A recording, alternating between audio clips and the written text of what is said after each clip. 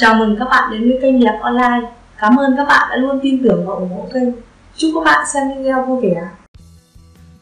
Lấy một quả chanh làm theo cách này, mụn cóc xấu xí, lặn mất tâm chỉ trong một tuần, da rẻ lại mịn màng. Mụn cóc là gì? Mụn cóc thường gặp là một loại mụn phát triển trên da gây ra bởi một loại virus gọi là HPV. Virus này khiến các tế bào trên lớp da của mình nhanh chóng phát triển. Các virus gây mụn cóc có thể truyền nhiễm sang người khác khi tiếp xúc hạt mụn cóc hoặc là sử dụng đồ chung như là khăn tắm, quần áo. Mụn cóc thường có màu trùng với màu da nhưng cũng có thể có màu đen, nâu hoặc là xám đen, phẳng và mịn trên bề mặt da. Mụn cóc tuy không ảnh hưởng đến sức khỏe nhưng nó lại gây khó chịu và làm mất đi tính thẩm mỹ của làn da. Do đó, việc tống khứ mụn cóc là điều rất cần thiết. Để chữa trị an toàn và thông minh nhất, hãy thử thực hiện cách trị mụn cóc mà Đẹp Online xin chia sẻ dưới đây nhé. Với phương pháp này thì chúng ta chỉ sử dụng hai nguyên liệu đơn giản, đó chính là chanh tươi và bột Bắc Kinh soda. Và ngay bây giờ, mình sẽ giới thiệu tới các bạn các nguyên liệu và công dụng của từng loại. Thứ nhất, với chanh. Đặc tính axit của chanh giúp phá vỡ các tế bào của mô mụn cóc và làm chúng biến mất trong vài tuần. Ngoài ra, axit citric có trong quả này sẽ giúp tiêu diệt vi khuẩn gây ra mụn cóc vượt trội, từ đó ngăn ngừa vấn đề mụn quay trở lại. Thứ hai là bột Bắc Kinh soda. Bắc Kinh soda có tính sát trùng và kháng viêm, giúp chống lại các bệnh truyền nhiễm, gây mụn cóc trên da. Với bột Bắc Kinh soda thì có thể có một số bạn chưa biết đến loại bột này. Và loại bột này chúng ta có thể dễ dàng mua ở các tiệm thuốc Tây.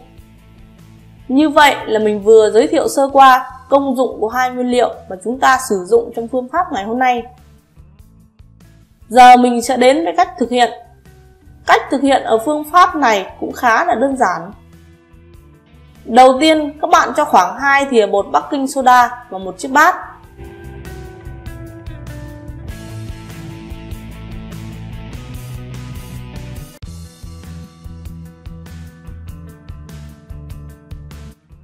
Sau đó, bạn cắt và vắt 1 phần 2 quả chanh và bát bột baking soda.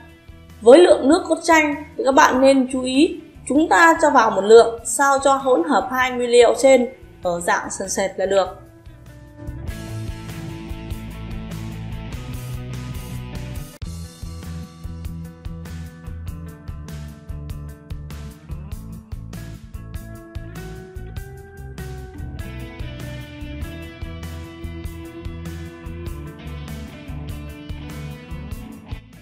Tiếp theo, các bạn dùng thìa khuấy thật đều hai nguyên liệu để chúng hòa quyện vào nhau thành một hỗn hợp đồng nhất.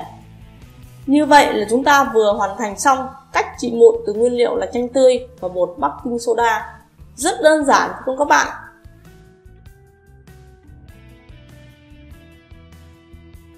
Và đây chính là bát hỗn hợp mình vừa thực hiện xong. Các bạn có thể quan sát hỗn hợp ở dạng sền sệt nên khi mình đắp lên vùng da bị mụn cóc sẽ là dễ dàng hơn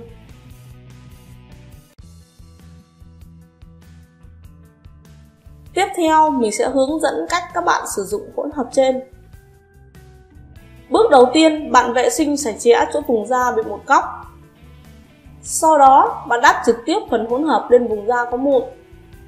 Bạn lưu ý là chỉ nên đắp vào vùng da có mụn thôi, không nên đắp vào chỗ vùng không có mụn.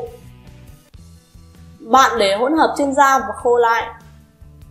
Và khi hỗn hợp đã khô lại trên da, bạn rửa lại với nước ấm bạn lặp lại phương pháp này hai lần trên một ngày và trong một vài tuần bạn sẽ thấy những nốt mụn cóc của mình hoàn toàn biến mất.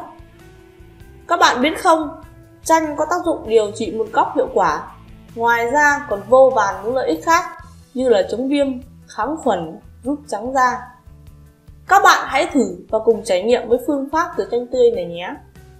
Chúc các bạn thành công. Video của mình đến đây là kết thúc. Nếu các bạn thấy hay, hãy bấm like và chia sẻ cho mọi người cùng xem.